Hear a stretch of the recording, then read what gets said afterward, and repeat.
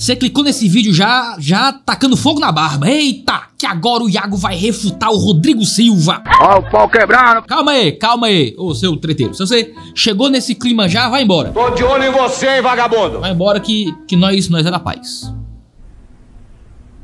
Sim, é isso mesmo. No vídeo de hoje eu vou lidar com o polemiquíssimo texto do ex que eu te digo, hoje estarás comigo no paraíso. E lidar com este texto é lidar com uma treta intereclesiástica gigantesca, porque a exegese desse texto é extremamente importante para lidar com uma doutrina que é razoavelmente importante para os adventistas. A igreja adventista do sétimo dia acredita na doutrina do sono da alma, de que quando nós morremos, nossa alma dorme e ela só acorda, só acordará no juízo final. É uma doutrina que marca parte das ideias basilares dessa comunidade, da comunidade dos adventistas. No entanto, o texto do ladrão na cruz é o famoso texto que, em tese, refuta a doutrina adventista. Ou não? Ou, ou, será, ou será que não refuta? Bom, adventistas dizem que não refuta. E talvez o maior representante que nós temos no YouTube disso é o doutor Rodrigo Silva. Ah, não é brincadeira, não. A coisa é outro naipe. É outro naipe. A tese de doutorado é defendendo a leitura adventista do texto de Lucas do Ainda Hoje Estarás Comigo no Paraíso. Então, antes de entrar no vídeo em si, deixa eu já começar com este disclaimer inicial. Este vídeo não é um ataque direto a ninguém. Eu podia só começar o vídeo e nem citar o Rodrigo Silva, nem dizer, fingir que ele não existe, lidar com as argumentações e tal, fazer um vídeo bem chapa branca branca, bonitinho e tal. Só que corre o risco de começar a me usar contra o Rodrigo Silva, né? Aí eu já, eu já, já tô visualizando aqui, ó. Eu já tô vendo. O Iago Martins.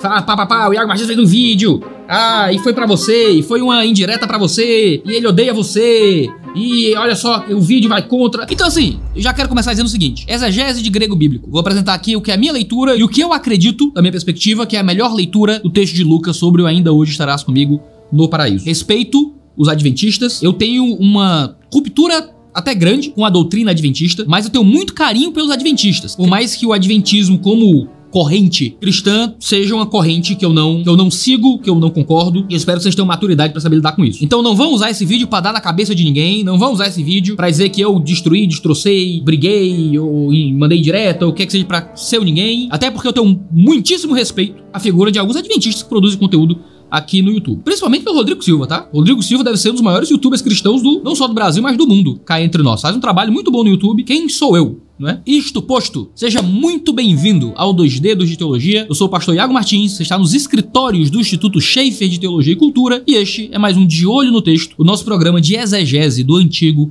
e do Novo Testamento.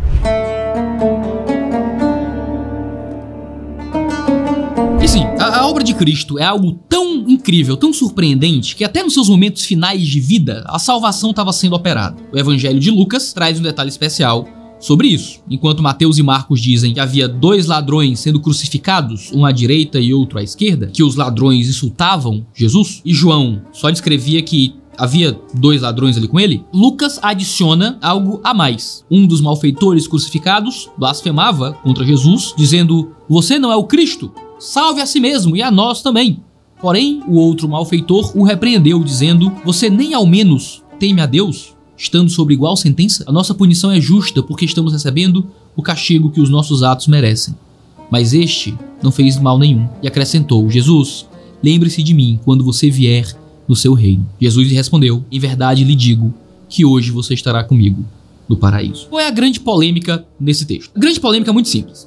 Se você pegar um manuscrito grego, se você já teve contato com algum Novo Testamento em grego, você vai descobrir que o grego não possuía muitas pontuações. Havia pouquíssima pontuação no grego bíblico. Você tinha algo para interrogação, você tinha ali um ponto final, mas assim, você não tinha nas frases em grego grandes divisões com vírgulas. Então, quando você pega essa frase de Lucas, você tem as palavras uma seguida das outras. A leitura comum desse texto é que Jesus está dizendo, em verdade eu lhe digo, dois pontos, hoje estarás comigo no paraíso. E então, aquele homem estaria com Jesus no paraíso naquele mesmo dia. Agora, com a ausência de vírgulas, alguns argumentam que existe a possibilidade desse hoje, na verdade, não qualificar o verbo estará, mas qualificar o verbo digo. Forma que a melhor tradução seria: Eis que eu te digo hoje, dois pontos, estarás comigo no paraíso. Por que é que esta segunda possibilidade de tradução, se a gente disser assim, é tão importante para alguns grupos cristãos? Porque isso permite que se continue crendo na doutrina do sono da alma. A ideia de que a alma permanece em sono até o dia do juízo final. Essa doutrina do sono da alma afirma que quando alguém morre, fica num estado inconsciente. A alma estaria dormindo, esperando a volta de Cristo para o seu julgamento, seja para salvação ou para condenação. O Millard Erickson, na sua teologia sistemática, afirma que no século XVI, muitos anabatistas e muitos socinianos aderiram a essa concepção de que a alma de uma pessoa falecida está num sono profundo sem sonhos. Atualmente, essa doutrina faz parte das crenças fundamentais dos adventistas, de modo que tanto os homens bons quanto homens maus permanecem nesse estado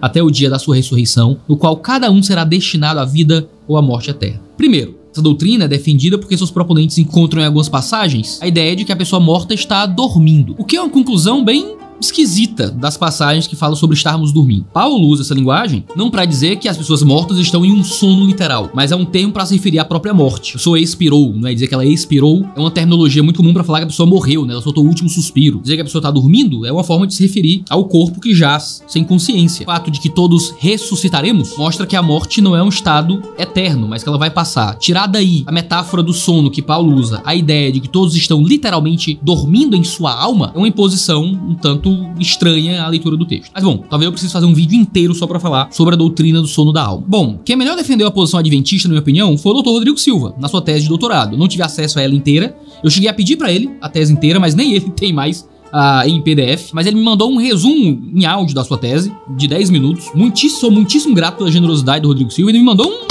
documento, tem um resumo da tese dele. A tese do Dr. Rodrigo Silva é que advérbios de tempo, quando eles estão de maneira dúbia entre dois verbos, eles sempre qualificam o primeiro verbo. Ou seja, quando temos eis que eu te digo, verbo, hoje, advérbio de tempo, estarás comigo no paraíso, eu tenho um advérbio de tempo, que é o semeron, no grego, é o hoje, entre dois verbos, digo e estarás. Para o Rodrigo Silva, se é dúbio, ou seja, isso não é muito claro a qual ele se refere, vai se referir necessariamente ao primeiro. Então seria, eis que eu te digo, hoje estarás comigo no paraíso. Por que, é que eu acho, aqui novamente com todo respeito do mundo, ao Dr. Rodrigo Silva e aos adventistas que seguem essa posição, por que, é que eu acho que este argumento não se sustenta? Vamos olhar para o texto de Lucas. Primeiro ponto é, a leitura mais natural do texto é de que hoje seja o dia em que o homem estaria com Jesus no paraíso. Jesus dizer hoje, não para qualificar quando o homem estaria com ele, mas para qualificar quando ele está falando, não tem absolutamente nenhuma, nenhum sentido a mais no discurso. Eis que eu te digo ou eis que eu te digo hoje significa a mesma coisa. Se eu estou dizendo, eu estou dizendo hoje. Eu não posso usar um verbo no presente para me referir ao futuro. Eis que eu te digo ou eis que eu te digo hoje é só redundância. Você não teria nenhuma modificação real no discurso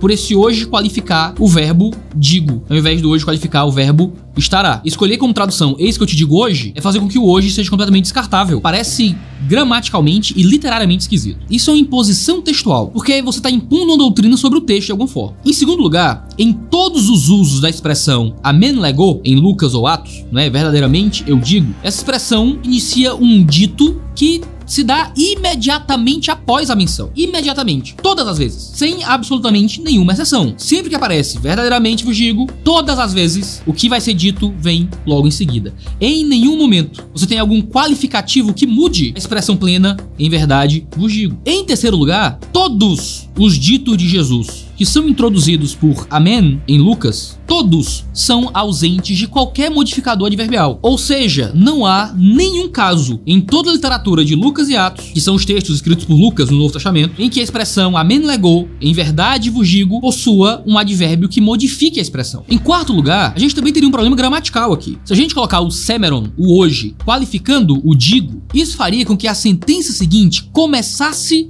com uma preposição seguida de pronome pessoal. A gente teria met emo, seria o comigo. Em toda a obra de Lucas e Atos, existem 665 ditos registrados, dos quais apenas 15 são iniciados com preposição. Nenhum usa preposição mais pronome pessoal. Ou seja, esse seria o único caso em Lucas Atos desse tipo de construção. Ou seja, quando a gente analisa tudo o que Lucas escreveu, ele nunca começa uma sentença com preposição mais pronome pessoal, o que é justamente o caso de Matt Emo faria aqui. Assim, a leitura onde é dito comigo estarás no paraíso seria um caso em 665, ou seja, menos de 0,2%, torna bastante improvável. Lucas não teria escrito um único caso em quase 700, esperando que seus leitores entendessem que o que estava sendo dito seria diferente de todo o seu estilo literário. Falando em pontuação, há quem tente argumentar que os manuscritos antigos antigos traziam uma vírgula colocada ali depois do hoje. Mas esse é um argumento que não se sustenta muito. Por exemplo, quando argumentam nesse sentido usando o papiro P75, mostrando que no manuscrito você tem um ponto que marca uma vírgula entre o hoje e o estarás, ignora-se que o manuscrito é cheio desses pontinhos em locais completamente aleatórios porque marcavam onde o copista descansava a ponta da pena. O fato de hoje nós termos acesso online a esses manuscritos nos permite analisar os manuscritos um por um e perceber essas coisas por nós mesmos. Mas mesmo que a gente assuma que outros manuscritos e um ou dois textos apócrifos tragam essa leitura, até mesmo os que advogam a partir do adventismo a leitura do hoje, qualificando o digo ao invés do estarás, precisam assumir que essa não era a visão majoritária do tempo primitivo. É o que escreve, por exemplo, Wilson Paroche, PhD, professor de estudos do Novo Testamento do Seminário Teológico Adventista Brasileiro, quando ele escreve nenhuma dessas evidências estabelece a pontuação original de Lucas ou demonstra que a leitura alternativa era predominante no cristianismo antigo e medieval. Não era. Argumentar a partir da manuscritologia alguma evidência textual a favor de uma vírgula depois de hoje não é seguido em nenhum nível pelo consenso acadêmico. Agora, claro, existe um esforço para tentar explicar isso por outros meios. Alguns vão para Septuaginta, tradução grega do Antigo Testamento, para provar que em 21 textos lá o uso de semeron de hoje é semelhante ao de Lucas, o advérbio anteposto entre dois verbos. A conclusão é que na maioria dos casos o advérbio modifica o verbo antecedente, favorecendo então a hipótese adventista. O que é importante salientar é que a prioridade da fórmula e de toda a sintaxe de um corpus tem prioridade sobre qualquer outro corpus quando o assunto é interpretação. E o que encontramos em Lucas é uma fórmula muito bem estabelecida e um contexto de contrastes temporais muito claros. Somado a isso, nós precisamos estabelecer que não existe nenhuma regra sintática relacionada a semero e qual o verbo, se anterior ou posterior, ele deve se relacionar. Mas a teologia do texto também nos ajuda aqui. O homem resolve confiar em Jesus como seu rei. Jesus lembra-se de mim quando entrares no teu reino. A expressão quando entrares ou quando vier é a tradução de uma estrutura que consiste do verbo otan mais um verbo no aorista subjuntivo. Do Evangelho de Lucas, há mais casos onde a estrutura otan mais verbo no subjuntivo ocorre.